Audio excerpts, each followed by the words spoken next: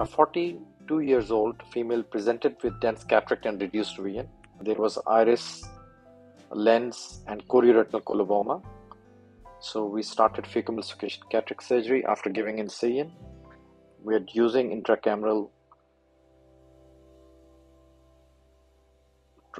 lignocaine with adrenaline to dilate the pupil.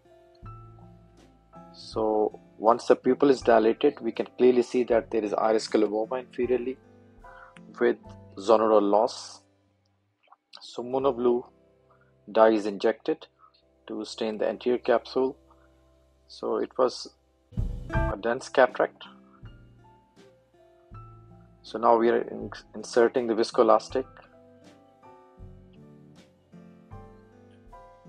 and we are using the iris hooks to have better dilatation of pupil as well as if we require to hold the anterior capsular edge we can use the iris hooks.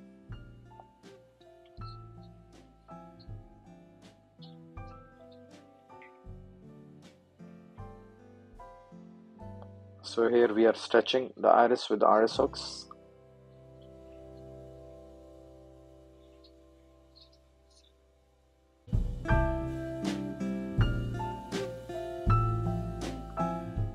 So we have also made the side port incision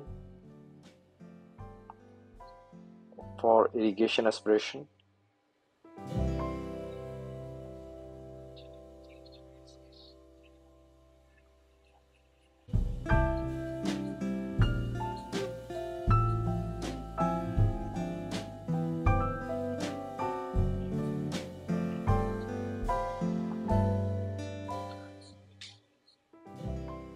So we're using the cystotome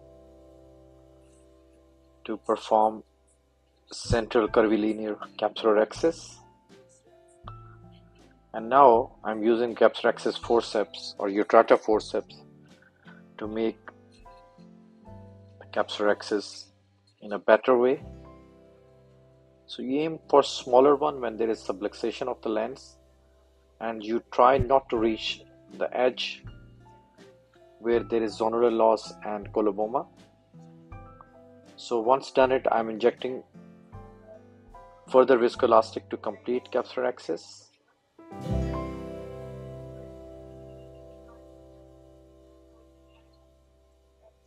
And now I'm injecting viscoelastic in the capsular bag to dilate it so that I can insert capsular tension ring.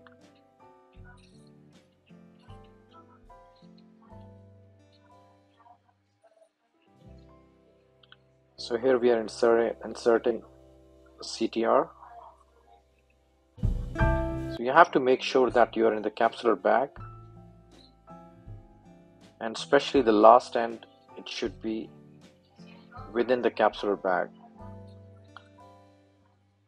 So once done I'm removing the viscoelastic and some soft lens matter anteriorly and then I'll do hydrodissection to mobilize the nucleus. And now I'm doing phaco chop. So I'm gradually uh, holding the lens and using horizontal chop to divide into different pieces and trying to remove it simultaneously so that I have to rotate as much as less possible.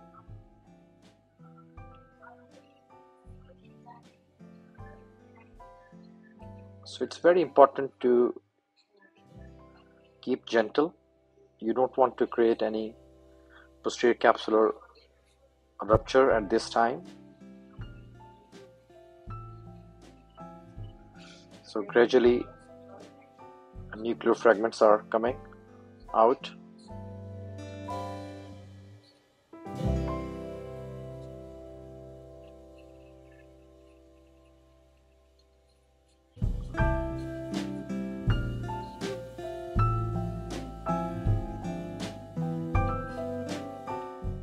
So here we are removing the last few fragments of the nucleus.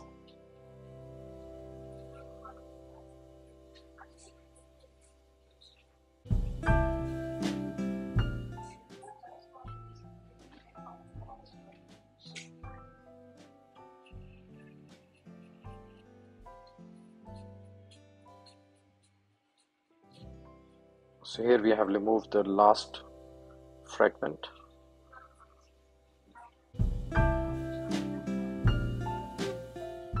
Now we are performing the irrigation aspiration of the cortical lens matter.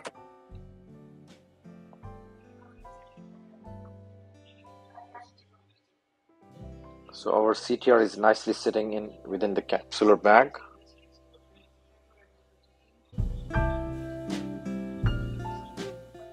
So we're injecting the viscoelastic again to open up the capsular bag and also removing some bits of the cortical lens matter over the posterior capsule. So I'm injecting the lens within the bag. So it's relatively smaller capsulorhexis, but it's really important to put your lens within the bag. So here I'm making sure that the both haptics are within the bag Now we are removing the iris hooks. So once they are removed, we'll inject Miochol to constrict the pupil and hydrate our wounds after removing the viscoelastic material.